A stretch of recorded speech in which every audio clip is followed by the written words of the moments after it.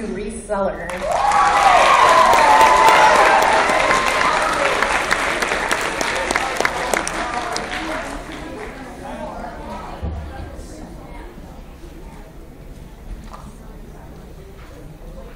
And then our $100 scholarship this year for seventh grade goes to Alyssa, and I said her last name wrong last year, but Eads. I said, yeah, so.